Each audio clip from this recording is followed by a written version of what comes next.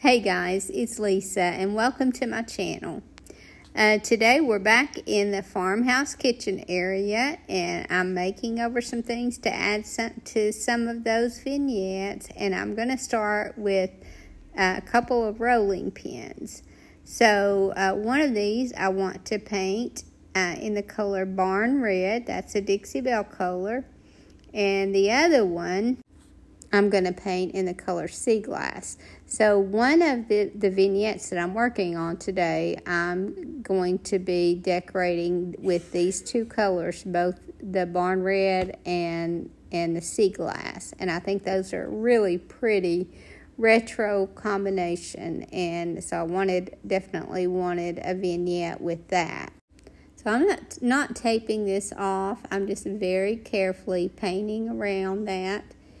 And uh, again, I'm not going to uh, stain the rest of it because uh, I don't want uh, it to be unusable. Right now, this is a usable rolling pin. Uh, so I want to keep it where you can both decorate with it and uh, use it. And I'm, I'm going to do that with both of these rolling pins.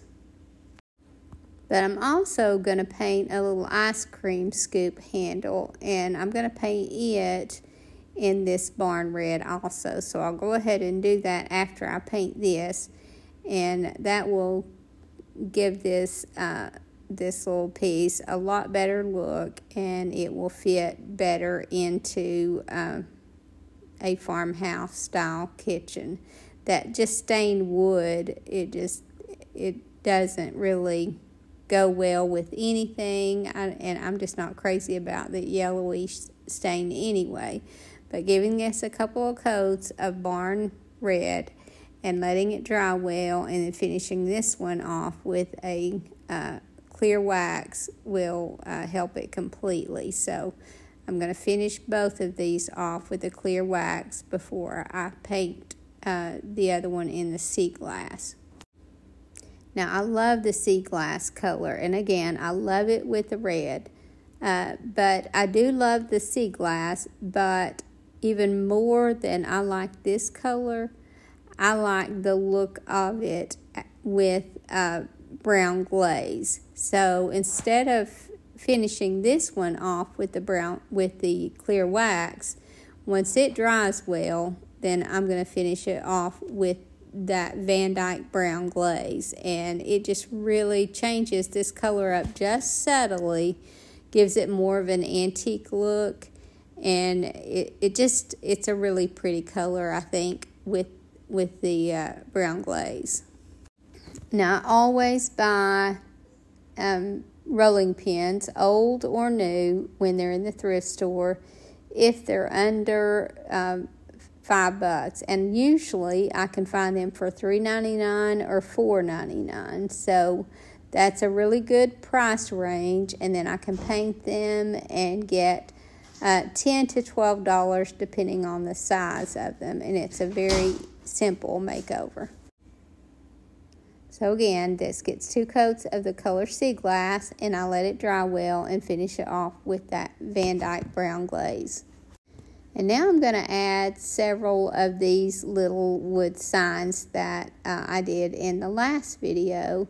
Uh, but I'm going to do all these in just black and white because uh, I have another little vignette that I'll be working on in this video that is going to be uh, that is going to have these little signs in it and um, I'm just going to package these up and sell them for like three dollars each and I'm gonna on on this farm animal mold from or not mold farm animal uh, transfer from Dixie Belle. Uh, there's some bigger images, but there's also some small ones, and I'm just picking out the small ones that'll fit on these uh, little boards, and I'm going to transfer them on this. And I think I just found one or two from this that was small enough for these particular boards.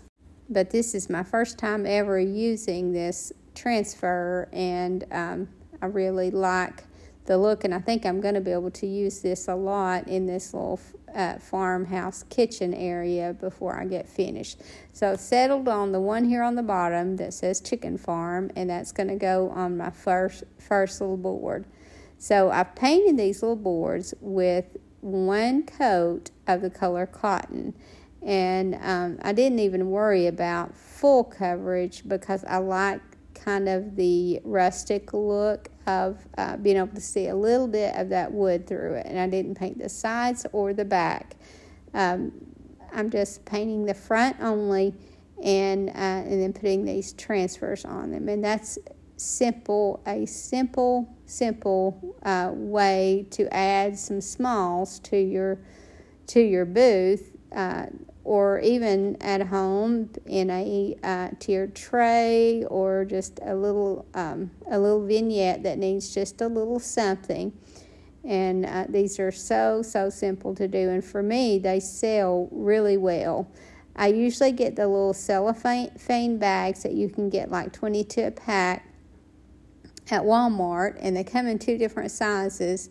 And I just use whatever size the particular board that I'm working with fit, will fit into, and uh, and then I just tie something around the top, and uh, these sell really well. And especially around the holidays, uh, people like to have some little small gifts that they can add to their other gifts, or just some small gifts that they can give as teacher gifts or co-workers. Um, so again, these have sold really well for me in the past, and I've sold them for, uh, well, actually, since we opened the store.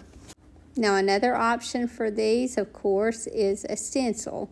And this is a larger stencil, but I'm able to just take just those words off of it and um, stencil them on the board. And I just use my StazOn ink and a makeup brush because it just gives me a much neater finish than if I were to try to do this with paint. So just because you don't have stencils small enough for your boards don't mean that you can't make the other ones work. You can just pick certain little things from it that will fit and use those. And I just picked different stencils here and uh, stencil different things. But again, it's all going to be in the black and white. And the black and white sells really well for me. Now, I used to take these little boards and make very small paintings on them. But um, I've uh, learned to work a little bit smarter as time has gone by. And those little paintings, although some are pretty quick, uh, they still take much longer than uh, just stenciling something like this. And to be honest, these sell just as well as if I were to do a little hand painting on it. So uh, I just very rarely do any hand painting. Now, come fall, I will do some little pumpkins because those are very, very quick for me and they do sell well enough that uh, it's worth doing them.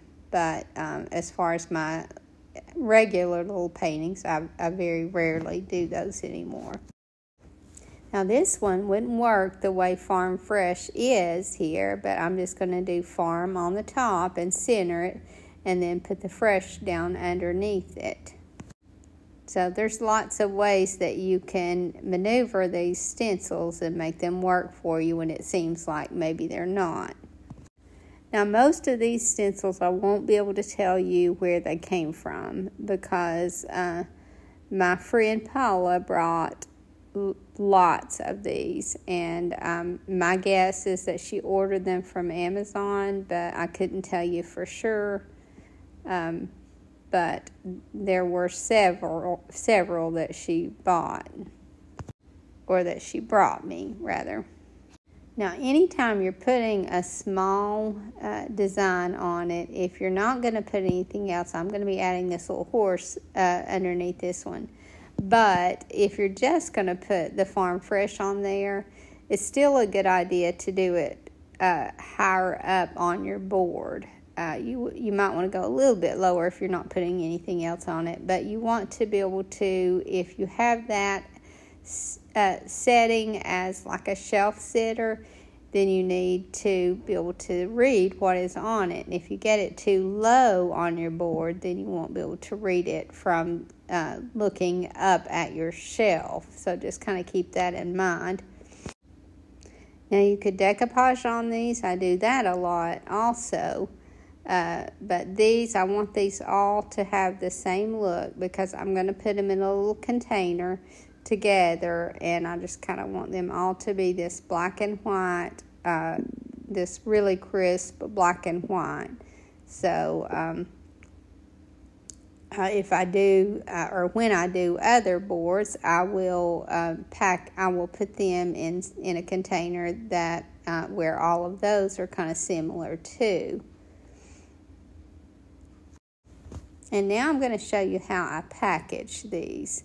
Uh, so uh, I just, again, I keep plenty of these little cellophane bags. I know you guys have seen them. They're usually in the wedding aisle. Uh, and I just find the one that will fit in it. Again, there's two different sizes. And um, they come with little uh, wire ties. And so I'm just almost like a bread tie. And then I I close it that way first, and then I tie something, uh, some kind of coordinating fabric. I usually just tie, uh, tear a little strip of something and use that to tie around the top. So then I just tie it around the top, and then uh, I put a little hang tag on it. And I keep these uh, hang tags very, very simple because these are very simple signs, so you don't want to put an elaborate hang tag on such a simple item. So uh, I just use the brown craft paper uh, hang tags and just stamp a little something or stencil a little design, uh, or rather transfer, stamp, transfer, or stencil some little simple uh, design on that craft paper tag. And with the holidays uh, coming up fairly soon, I know that this is just um, just the beginning of summer. Actually, I don't even know if we're in summer yet, uh, but it won't be long, and it definitely won't be long until you'll have to start stocking up for Christmas. And if you have a booth or a store and you're trying to come up with some simple little gift ideas, this one is an absolute winner, I think. And if you can't even come up with these boards, uh, you can get the little stretched canvases uh, from the Dollar Tree and uh, do this on them. So I actually um, I have a group of little girls that are going to be coming in the store um, next week sometime, I think. And um, so uh, I think it's a friend of mine, and I think it's some little girls from her church, but she's taking them uh, horseback riding, and uh, she's going to stop at the store and let them pick out uh, something from our little uh, jewelry department our little new jewelry area. And so she's going to let them pick out something there. She's going to let them uh, pick out a little, or not pick out a little board. I'm making her some of these little boards, but I'm making them with a little horse on them. So um, she'll be able to let them each have one of those and each pick out a piece of jewelry and then uh, my friend Jennifer made some gift bags, and I started selling those in the store. And so then they can pick out a little gift bag for all of these. And she said we would just do that. So I had to uh, come up with a design for those little boards and went to the graphics fairy and found some free uh, horse art. So that's what we'll be using uh, on that. And although she loved Jennifer's bags, uh, she wanted horses on them. So I also found some art uh, from the graphics fairy that I could make some bags similar to um, Jennifer's. Now, as you can see here, I have this wired ribbon and I've had it for years.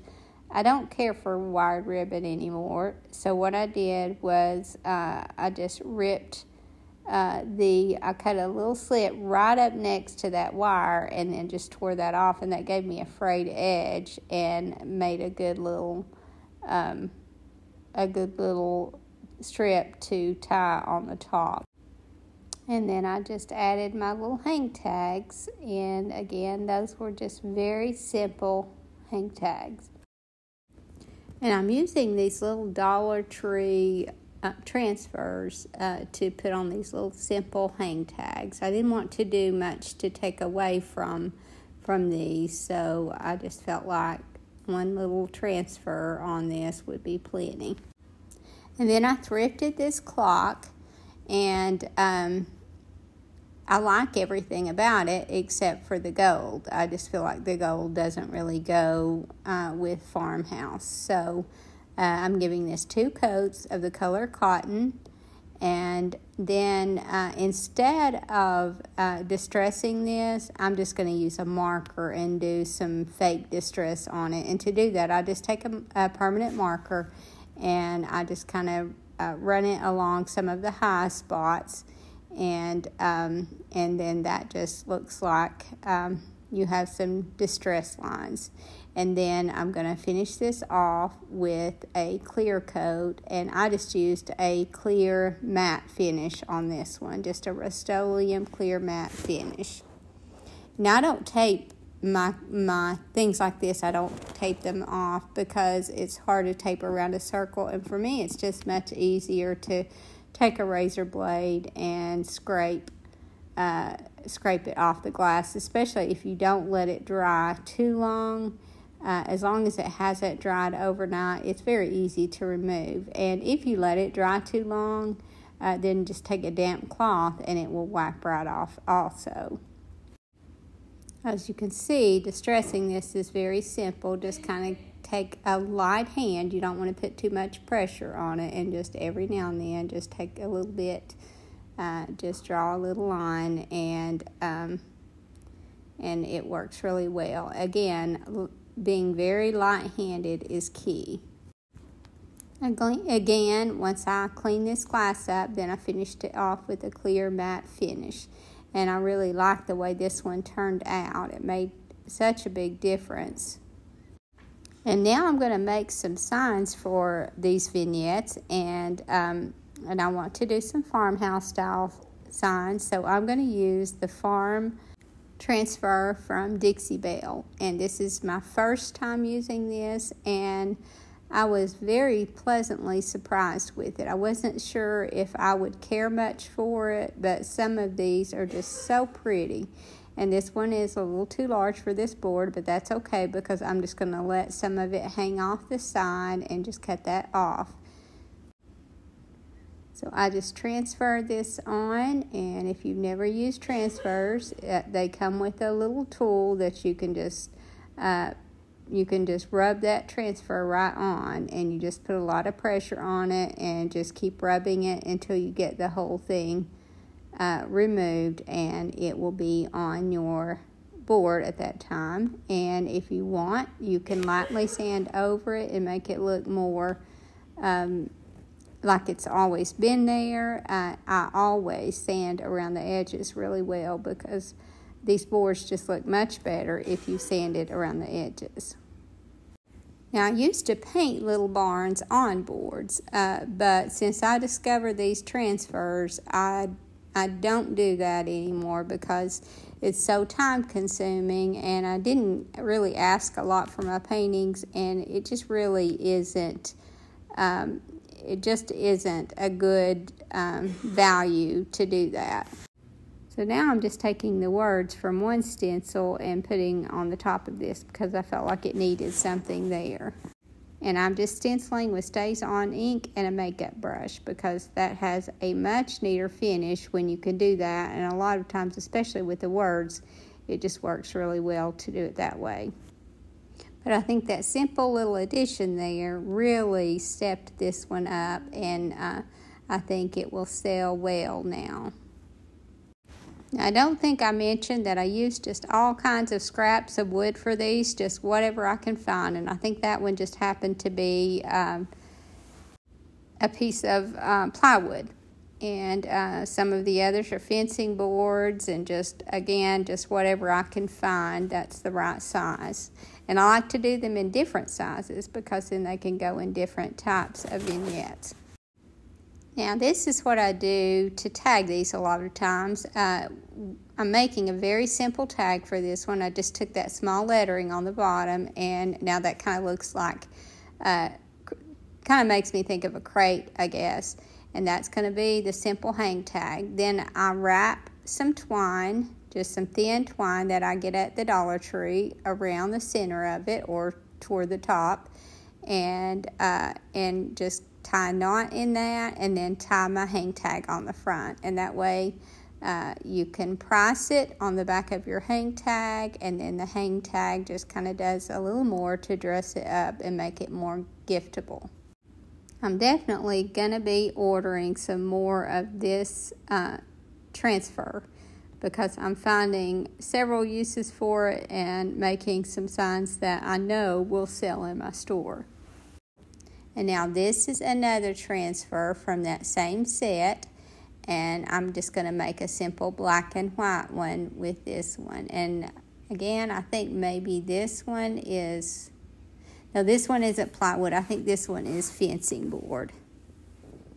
But I just uh, take all these boards and put a coat of white paint on them and then they're ready for uh, transfers and most of these transfers will show up better on the white. And I tag this one the same way. I just wrap that twine around it and put a tag on it. Now, if you're like me here and you pull it up and some of that is left off of it, just very carefully place it back where it was and finish rubbing that off. And uh, it, it will look like it hasn't uh, been broken. But I just made several of these, and um, I, most of the ones that I made uh, were from that same transfer set. I do have some larger ones in that set that I didn't uh, didn't have signs large enough to do those with, but I'll probably doing those on, be doing those on signs as well. Because this is my first time using this transfer, uh, I, I wasn't really expecting much from it, and uh, I've had this one for a while and just really hadn't uh, decided on anything to do it with, but um, I was very, very pleasantly surprised with the results of this one. Uh, I just love the way the colors work, and um, I love the way they show up on the sides, and um, I will definitely be ordering some more of these and making some more.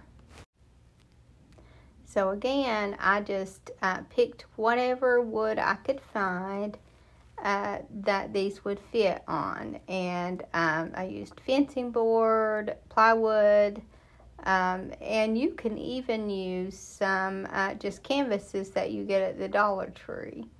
Uh, there's just a number of things that you can use these on, and they'll make good little shelf sitter signs. And you don't have to go with a white background like I did, but I just really like the look of the white background. They showed up really well, and even those red barns uh, just look so good against the white. So this vignette is going to finish one small wall that I started with in that farmhouse kitchen area. And then in my next video, I'll start the next wall. Uh, but I've just, I've still got a long ways to go in that particular booth area and um, lots of uh, things that I will be adding. And I think I'm doing this just in time for the holidays because um, I really want to get stocked up really well, especially since I'll be doing my open house. And if you don't have the little cellophane bags that I'll be using for these signs, you really should look for them at Walmart because not only for these little signs, uh, but you can, a number of things that you would do that are just little small gifts that you could would sell uh, just seem so much better once you put them in that cellophane bag and tie something decorative around the top. It makes such a difference. And things that they may look at and not really see as a gift idea, uh, once you do that, uh, then it will help them see it that way. And for me, it just makes a really big difference in uh, how an item sells. Again, I know that these are intended to be on larger uh, wood and maybe added together. I'm thinking this side goes with the other side of the barn, uh, but I just preferred it this way, and I think that uh, I think that uh, it, for one thing, it made the transfer transfers go further, uh, but also I just like the look. And when you do these signs, uh, you don't want to do to do them too large because then it uh, limits where they can be used. So this size I think is going to be a really good size. And I think this one on its own is a really pretty sign, but just adding a little bit of, uh, of script from, or a little bit of words, I guess, from a stencil was just the per perfect addition to it. And although I don't use this stencil much at all, I do use uh, the words with it on a lot of different items. And I think they're just uh, the perfect addition to this. And then I just uh, take some sandpaper and go around the edges. And uh, sometimes I even take some antiquing ink around the edges. And I think I did on this one. And then I tied some jute twine around it. I just wrapped it around a couple times and tied a knot in it and added a hang tag. And um, that just made this very giftable. And I, I don't put this one in a bag because I don't have uh, bags large enough to fit this one. But since I don't fit it, since I don't put it in a bag, just tying this jute around it and adding a hang tag uh, makes it more giftable.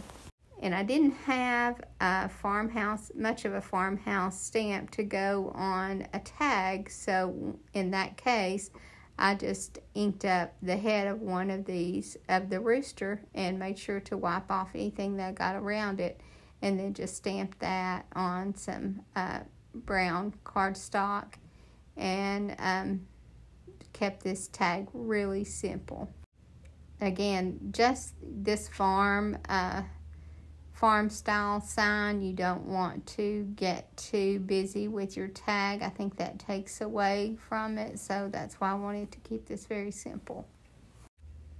And this was another uh, stamp or transfer that was in in that set, this truck. So um, I decided to go side uh, or uh, landscape style on this one and then I cut it out and I was able to use most of the transfer. And this little truck, I just really like it and um, and I'm gonna, so I'll transfer that on the bottom and then I have another uh, stamp that I'm going to use on the top, just the words from, that will fit perfectly above this. And um, again, I like the look of these on their own, but I just feel like they need a little something and just adding a transfer and a stencil together is a good way to make it very custom and something that uh, you're not going to see exactly anywhere else. You may see a sign with this transfer on it because it is a Dixie transfer, but not many people will think to put the the uh, stenciling with it. And even if they do it won't necessarily be the same one. So that's just a way to make it completely different from anything that you'll see. And then I'm not sure if I mentioned but uh, I finished these off with a clear uh, a clear coat and I just use a clear matte finish over the top of them and now again, on this one, I'm going to wrap uh, some jute around it and attach a tag to it. And I felt like this one needed, the jute needed to be the other way, so I just wrapped it up and down rather than side, or from side to side. And these signs I feel like will, will not only work for um, just any season, but also uh, I think they'll look really good uh, to add into your fall decor and even into Christmas. And then that's all that I did to this one.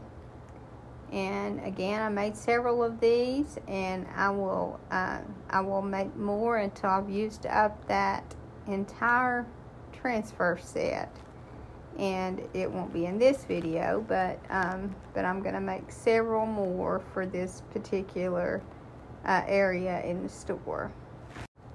And now I'm just going to show you through uh, the area that I worked on in this video